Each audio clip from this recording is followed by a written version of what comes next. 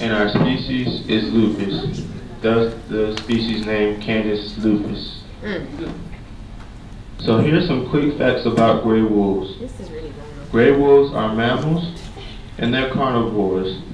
The average lifespan in the wild is six to eight years. Our size, head and body, 36 to 63 inches, and their tail is 13 to 20 inches. Their weight is anywhere between 40 up to 175 pounds.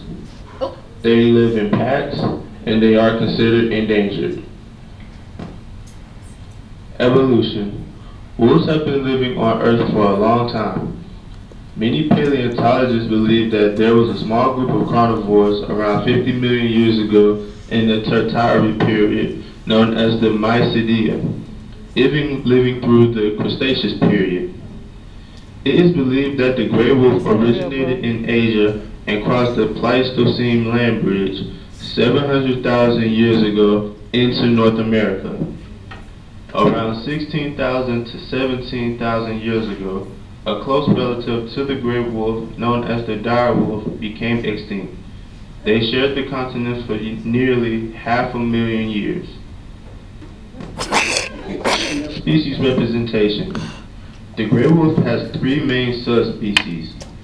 These are the North American gray wolf, the Eurasian gray wolf, and the red wolf. Originally, there were 24 different wolves in the North American gray wolf subspecies category before being grouped into just five in 1995. Also, there are 10 wolves in the Eurasian gray subspecies and three in the red wolf subspecies. There are many different types of wolves, but some are not classified in the subspecies categories. These include the Egyptian jackal, the Ethiopian wolf, the Indian wolf, the maned wolf, and the dingo. There are three extinct species. The dire wolf, as I mentioned earlier, the armed wolf, and the Canis edwardii. Habitat. Gray wolves are normally found in northern climate regions and forests where they can easily catch their prey. But they can also be found in grasslands, swamps, and deserts. No matter where they live, they need to be able to build dens so that they can properly reproduce uh-uh. their offspring. Get up. Get up. Reproduction. Get up right now. As you can see, the figure on the left shows the normal reproduction cycle of a wolf, from when it's a pup to when it reaches its sexual maturity. Gray wolves reproduce sexually with the average litter being four to six pups. But as the pups age, they begin to hunt at eight months. They reach their sexual maturity between two to three years. And they have an average lifespan in the wild from six to eight years, and it can be doubled in captivity. Living conditions. With wolves being the largest members of the dog family, gray wolves are by far the most common. The gray wolf, as of right now, is considered to be endangered. Wolves, especially in the Idaho, Montana, and Wisconsin area, are being threatened and protested against. And in those exact same areas, wolves are direct competitors for meat consumption in the winter. Also noted, the gray wolf is in danger of becoming extinct in Egypt with only around 30 to 50 wolves remaining. And as you can see, the map to your right shows in red where wolves reside and across the earth. Food consumption and diet.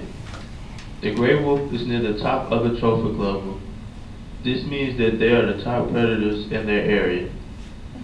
As I mentioned earlier, gray wolves are carnivores and they hunt in packs.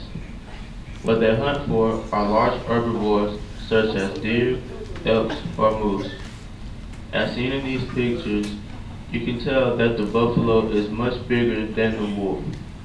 But with more than one wolf surrounding the buffalo, they use teamwork to take it down. when they're not hunting large herbivores. They can also consume small mammals, lizards, and fruit.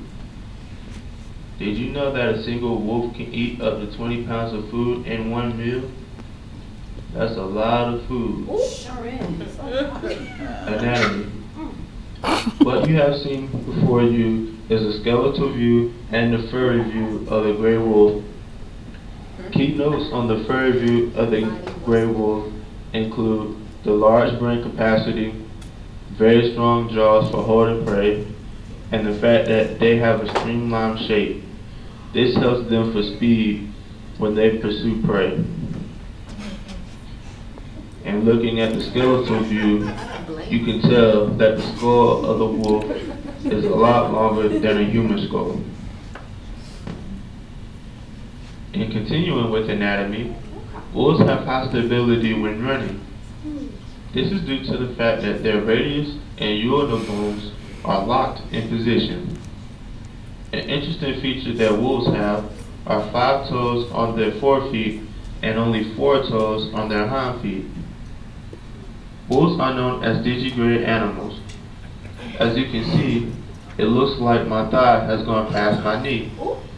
This is due to the fact that wolves' legs are different than human legs. Mm-hmm. And this requires wolves to walk on their toes.